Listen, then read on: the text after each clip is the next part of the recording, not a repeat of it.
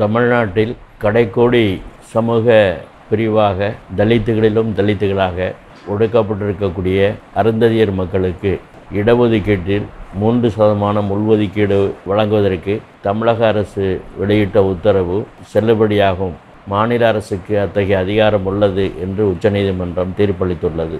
இந்த தீர்ப்பு உண்மையில் ஒரு வரலாற்று சாதனையாகும். அருந்ததியர் உள்ஒதுக்கீடு என்பது ஒரு நீண்ட நெடிய வரலாற்றை கொண்டதாகும்.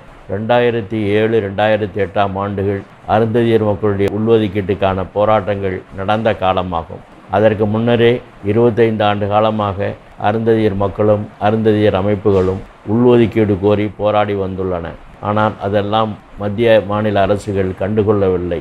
ஆனால் மார்க்சிஸ்ட் கம்யூனிஸ்ட் கட்சி ரெண்டாயிரத்தி ஏழாம் ஆண்டு தோழர் என். வரதராஜன் அவர்கள் மாநில செயலாளராக இருந்தபோது அவருடைய முன்முயற்சியில் கட்சிக்குள் விவாதித்து அருந்ததியர்களுக்கு உள்ஒதுக்கீடு வழங்க வேண்டும் என்ற கோரிக்கையை மார்க்சிஸ்ட் கம்யூனிஸ்ட் கட்சியை முன்வைத்தது. அது மட்டுமல்ல மார்க்சிஸ்ட் கம்யூனிஸ்ட் கட்சி முடிவை தொடர்ந்து அருந்ததியர் அமைப்புகளோடு இணைந்து தமிழ்நாடு தீண்டாமை ஒழிப்பு முன்னணியினுடைய மகத்தான பங்களிப்பும் சேர்ந்து பெரும் போராட்டங்கள் நடத்தப்பட்டன. ரெண்டாயிரத்தி ஏழாம் ஆண்டு சென்னை மாநகரத்திலே ஏறத்தாழ இருபத்தையாயிரம் பேர் கலந்து கொண்டிருக்கக்கூடிய பிரம்மாண்டமான பேரணி நடைபெற்றது. இந்த பேரணியில் பங்கேற்றவர்களில் மிக கணிசமானவர்கள் அறந்ததியர் மக்கள் தமிழகம் முழுவதும் பேரலையாய் திரண்டு வந்திருந்தார்கள். அந்த எழுச்சிமிக்க பேரணி சென்னை மாநகரத்தில் மட்டுமல்ல தமிழகத்திலே பெரும் தாக்கத்தை ஏற்படுத்தியது. இதனையொட்டி தமிழக முதலமைச்சர் அன்றைய தினமே மார்க்சிஸ்ட் கம்யூனிஸ்ட் கட்சியினுடைய தலைவர்களை பேச்சுவார்த்தைக்கு அழைத்தார். மார்க்சிஸ்ட் கம்யூனிஸ்ட் கட்சியினுடைய மாநில செயலாளர் என். வரதராஜன் அன்றைய மாநில செயற்குழு உறுப்பினர் பி. சம்பத் இவர்கள் மார்க்சிஸ்ட் கட்சியின் சார்பாக சென்றபோது அருந்ததியர் அமைப்புகளுடைய தலைவர்களையும் உடனழைத்து சென்றார்கள். குறிப்பாக ஆதி தமிழர் கட்சியினுடைய நிறுவனர் ஜக்கையன் அவர்கள் அதேபோல ஆதி தமிழர் பேரவையினுடைய நிறுவனர் அதியமான் உள்பட அருந்ததியர் அமைப்புகளுடைய பிரதிநிதிகளும் மார்க்சிஸ்ட் கட்சி தலைவர்களோடு முதலமைச்சரை சந்திப்பதற்கான பேச்சுவார்த்தைக்கு சென்றார்கள். முதலமைச்சர் கலைஞர் அவர்கள் அன்றைய தினம் மிகுந்த ஆதங்கத்தோடு இந்த கோரிக்கையினுடைய நியாயத்தை கேட்டுக்கொண்டார். தோழர் என் வரதராஜனும் இதர தலைவர்களும் இதனுடைய நியாயத்தை விளக்கி சொன்னபோது அவர் அதனை ஏற்றுக்கொண்டு உரிய நடவடிக்கை எடுப்பதாகவும் அவர் அங்கேயே எங்களிடம் தெரிவித்தார். இதன் பின்னர் தமிழக முதலமைச்சர் கலைஞர் அவர்கள் அனைத்து கட்சி கூட்டம் நடத்தி அங்கேயும் நிகழ்ச்சி நிரலிலே இதை ஒரு பொருளாக வைத்து விவாதித்து அங்கேயும் முடிவாக்கி ஜனார்த்தனம் என்ற நீதியரசர் தலைமையிலே ஒரு கமிஷனை அமைத்தார். அர்த்ததீர் மக்களுக்கு உள்ஒதுக்கீடு வழங்குவதுடைய நியாயம் குறித்து மாநில அரசுக்கு விளக்கம் தருமாறு அந்த கமிஷனை தமிழக அரசு கேட்டுக்கொண்டது. பல மாதங்கள் கமிஷன் தமிழகம் முழுவதும் சுற்றுப்பயணம் செய்தும் பல்வேறு அரசியல் மற்றும் சமூக பிரிவினர் அருந்ததியர் அமைப்புகளுடைய பிரதிநிதிகளை சந்தித்து விவரங்கள் சேகரித்து ஒரு அறிக்கையை தமிழக அரசுக்கு கொடுத்தது. அந்த அறிக்கையை தமிழக அரசு ஏற்றுக்கொண்டு தான் அருந்ததியர் மக்களுக்கான உள்ஒதுக்கீட்டை ரெண்டாயிரத்தி ஒன்பதாம் ஆண்டு ஏப்ரல் மாதம் இருபத்தொன்பதாம் தேதி முதல் அமலாகக்கூடிய வகையிலே ஒரு உத்தரவை தமிழக அரசு வெளியிட்டது. உண்மையில் அருந்ததியர் மக்களுக்கு இத்தகைய உள்ஒதுக்கீடு கிடைத்தது என்பது ஒரு மகத்தான சாதனையாகும். இந்த சாதனைக்கு பின்னால் அருந்ததியர் மக்களுடைய நியாயமான போராட்ட உணர்வுகளும் அருந்ததர் அமைப்புகளுடைய மகத்தான பங்களிப்பும் இருந்தாலும் கூட மார்க்சிஸ்ட் கம்யூனிஸ்ட் கட்சி தமிழ்நாடு தீண்டாமை ஒழிப்பு முன்னணி போன்ற அமைப்புகள் இணைந்த பிறகு உண்மையிலேயே இந்த பிரச்சனைக்கு ஒரு மிகுந்த முக்கியத்துவமும் திருப்பமும் ஏற்பட்டது அதன் பிறகுதான் தமிழக அரசு இத்தகைய உத்தரவை வெளியிட வேண்டிய கட்டாயம் ஏற்பட்டது. பேரணி மட்டுமல்ல தமிழகம் தழுவிய அளவிலே மறியல் தர்ணா இப்படி பல போராட்டங்கள் நடந்தன. இந்த மூன்று சதமான உள்ஒதுக்கீடு உத்தரவு வெளிவந்ததுக்கு பிறகு சில சக்திகள் ஆத்திரமடைந்தார்கள். இதை ஏற்க மறுத்தார்கள். அவர்கள் உயர்நீதிமன்றத்துக்கு இந்த பிரச்சனையை வழக்காக கொண்டு சென்றார்கள். மதுரை உயர்நீதிமன்றத்திற்கு இந்த வழக்கு சென்றது.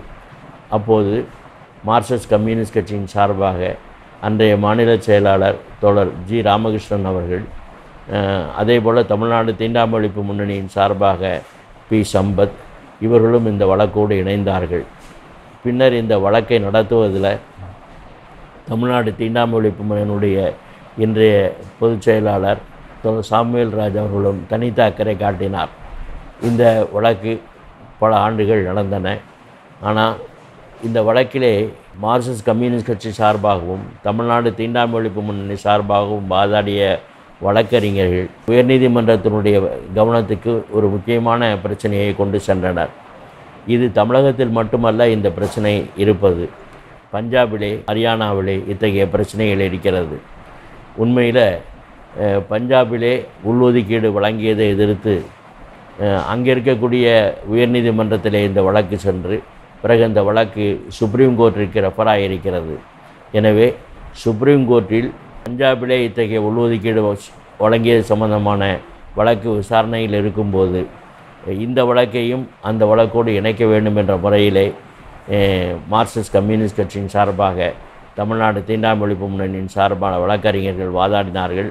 அந்த அடிப்படையில் மதுரை உயர்நீதிமன்றம் இந்த வழக்கை உச்ச நீதிமன்றத்துடைய விசாரணைக்காக உத்தரவிட்டது.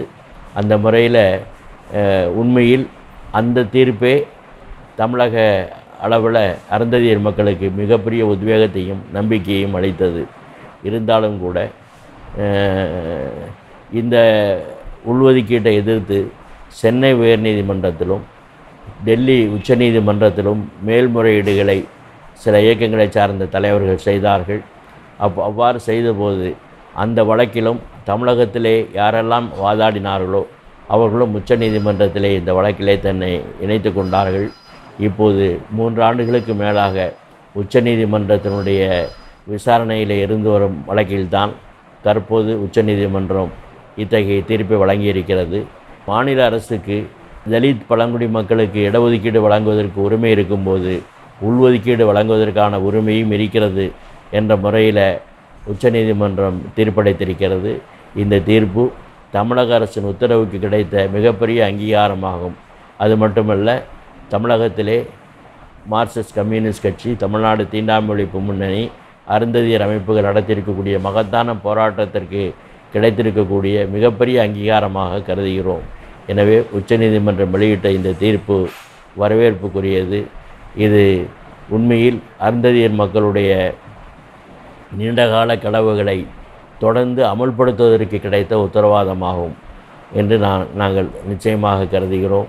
அருந்ததியர் மக்கள் இதற்காக நடத்தியிருக்கக்கூடிய போராட்டங்கள் மார்க்சிஸ்ட் கம்யூனிஸ்ட் கட்சி இதற்காக நடத்தியிருக்கக்கூடிய போராட்டங்கள் தீண்டாமை ஒழிப்பு முன்னணி எடுத்துக்கொண்ட முயற்சிகள் இவை அனைத்தும் இன்றைக்கு ஒரு மிகப்பெரிய வெற்றியாக உச்சநீதிமன்றத்தின் தீர்ப்பின் மூலம் வெளிவந்திருக்கிறது என்ற முறையில் இந்த தீர்ப்பை உச்சநீதிமன்றம் இப்போது வெளியிட்டுள்ள இந்த தீர்ப்பை மார்க்சிஸ்ட் கம்யூனிஸ்ட் கட்சியின் சார்பாகவும் தமிழ்நாடு தீண்டாமை ஒழிப்பு முன்னணியின் சார்பாகவும் ஜனநாயக அமைப்புகள் சார்பாகவும் நாங்கள் பெரிதும் வரவேற்கிறோம். இந்த தீர்ப்பு அடிப்படையில் அருந்ததியர் மக்களுக்கு உள்ஒதுக்கீடு நிச்சயமாக கிடைக்கும். இந்த உள்ஒதுக்கீடு பல ஆண்டுகளாக அமலாகின்ற காரணத்தினால ஆயிரக்கணக்கான அருந்ததியர் இளைஞர்கள் பொறியாளர்களாக நூற்றுக்கணக்கான இளைஞர்கள் மருத்துவர்களாக மிகச்சிறந்த தொழில்நுட்ப தொழில்நுட்ப வல்லுநர்களாக மாறுவதற்கான வாய்ப்பு கிடைத்திருக்கிறது. அரசு பணியில் ஆயிரக்கணக்கானோர் இணைந்திருக்கின்றனர்.